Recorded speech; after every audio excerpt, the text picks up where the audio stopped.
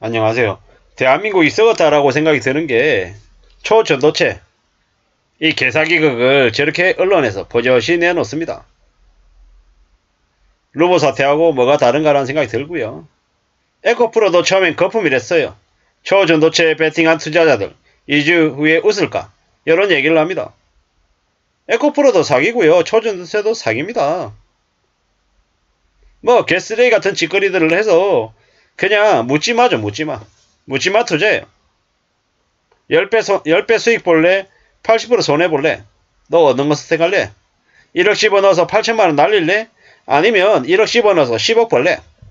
이딴 개소리를 하고 있는 게 저들입니다. 저런 말에 취해가지고 빚내가지고 우르르 뛰어들었다가 인생이 개폭망합니다. 어처구니가 없는 얘기죠. 나라 꼴이 지금 개판? 이런 개판이 없습니다. 앞으로 어떻게 될까요? 앞으로 어떤 삶을 살게 될까요? 많은 사람들이. 지옥에서 살게 될 겁니다.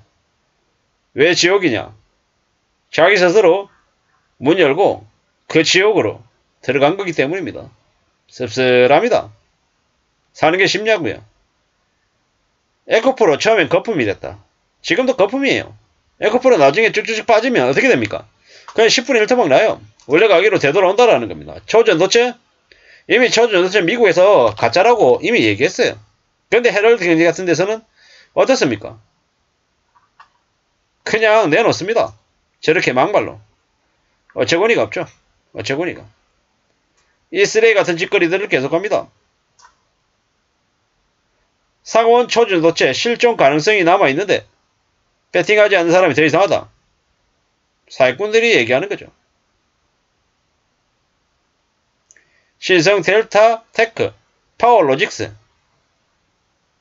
이 막장이죠 막장.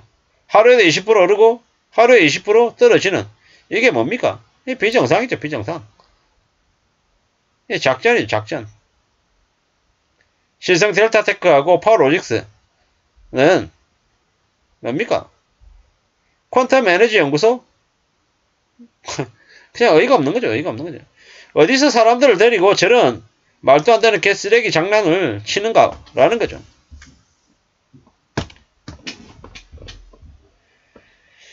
미친놈들이에 미친놈들. 초전도 학회.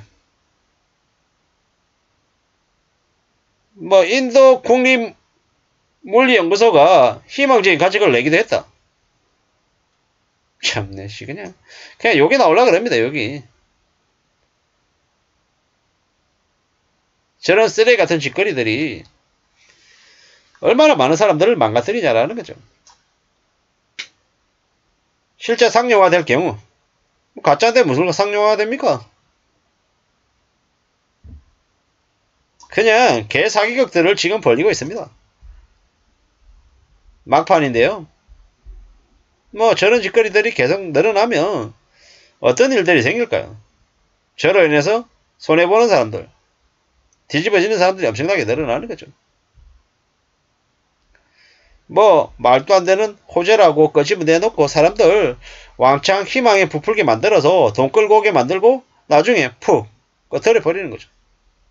그게 현실입니다. 그게. 앞으로 많은 일들이 벌어질 겁니다. 정신 바짝 차리고 살아야 됩니다.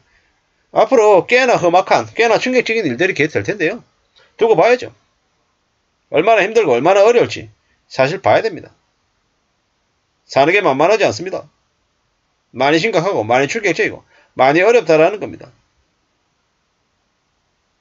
앞으로 어떤 일이 벌어질지 안 봐도 비디오입니다. 그냥 개미들 그냥 개폭락하는 거예요. 루보 사태하고 똑같다. 더 심하다라고 가히 말씀드립니다. 온갖 저 강남의 그 지하에서 개쓰레기 같은 인간들이 자기들끼리 입 맞추고 시나리오 만들어가지고 퍼뜨리는 거죠. 사람들 죽어보라고. 개미들 다 끌어모으겠다고. 지금 지랄 발광을 하고 있는 중입니다. 그렇게 하고 난 다음에 어떻게 됩니까? 그러고 난 다음에 이제 이제 또 망가뜨리는 거죠. 어쩔 수 없다라면서 참 대한민국이라고 하는 나라가 썩었구나라는 생각이 드는 게 주식시장이고 부동산 시장이고 사기판입니다. 사기판. 개사기를 치는 것인 거죠. 많은 이들이 몰락하고 망가지고 힘들어질 거다라는 겁니다. 나중에 뭐가 남을 거예요? 뭐가? 시체만 득실득실 거릴 겁니다. 시체만. 앞으로 벌어질 일들입니다. 충격적인 일이죠. 씁쓸합니다. 씁쓸하죠. 지금 암울하고요. 더 충격적이고요. 아무것도 안 보입니다. 이게 현실입니다. 저도 주식을 적지 않겠지만 한 지나와 보면 뭐냐 정말 지루하고 재미없게 투자하는 게 그게 가장 현명하고 빠른 길이더라고요. 오래오래 했는데 쉽지 않더라는 겁니다. 지금 지금 저 뭐 퀀텀 에너지 연구소에 그 어느 놈이 있는지 언론에 나옵니까? 안 나오잖아요. 제대로 검증합니까? 안 하잖아요.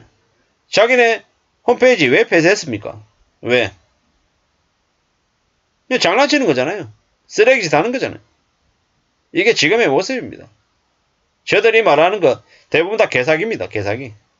믿지 마십시오. 함부로 속지 말라는 말씀을 드립니다. 아니 지금 에코프로니 뭐니 하는 그런 말이 취해가지고 있잖아요. 혹해가지고 돈 집어넣으면 그냥 돈 날려먹는 겁니다. 에코프로고 초전도 최고 2주 이유, 2주 이유가 아니라 평생을 눈물 속에 살게 될 거다라는 말씀을 드립니다. 믿지 마십시오, 함부로. 저런 얘기에 혹해가지고 뛰어들었다가요. 그냥 개판, 개판. 인생이 개막장이 됩니다. 절대로 믿지 마십시오. 함부로 뭔가를 믿지 않는 게 좋겠다라는 겁니다. 우리의 삶이 얼마나 엉망으로 흘러갈지 명심 또 명심해야 됩니다. 사는 게 쉽지 않습니다. 정말 어렵습니다. 함부로 뭔가를 기대하거나 욕심부리거나 하지 마십시오. 에코프로, 에코프로도 개사기이고요. 초전세도 가짜입니다. 믿지 마십시오. 저런 게 믿어가지고 함부로 돈 집어넣으면요. 내 돈 다 날라갑니다. 쉽지 않습니다. 저희 바짝 차리고 살아야죠. 사는 게 쉽더냐고. 내 맘대로 되더냐고. 대부분 내 맘대로 안 됩니다. 그걸 명심하며 살아야 됩니다. 잊지 않아야 된다는 거죠. 정신 바짝 차리고 살아야죠. 우리 삶이 얼마나 힘든지, 얼마나 어려운지 명심해야 됩니다. 저런 에코프로니 초전도체니 저런 사기극에 취해가지고 살면 삶이 다 망가집니다. 일상생활에 집중해서 못 삽니다. 월급 200만원, 400만원 받는 일상, 나의 평범한 일이 별거 아닌 것처럼 얘기하지만 제일 소중한 겁니다. 함부로 내팽개칠 생각하지 마십시오. 명심도 명심하십시오. 오래오래 머물고 버티면 기회는 옵니다. 좀 나아질 기회는요. 그걸 기다리며 사는 게 낫지. 흥청망청거리고 한 방에 10배 거 바라면요. 폐가 망신하기 딱 좋습니다. 그들이 저놈들이 그걸 바라고 저런 뉴스를 내놓는 겁니다. 속지 마십시오. 이상입니다.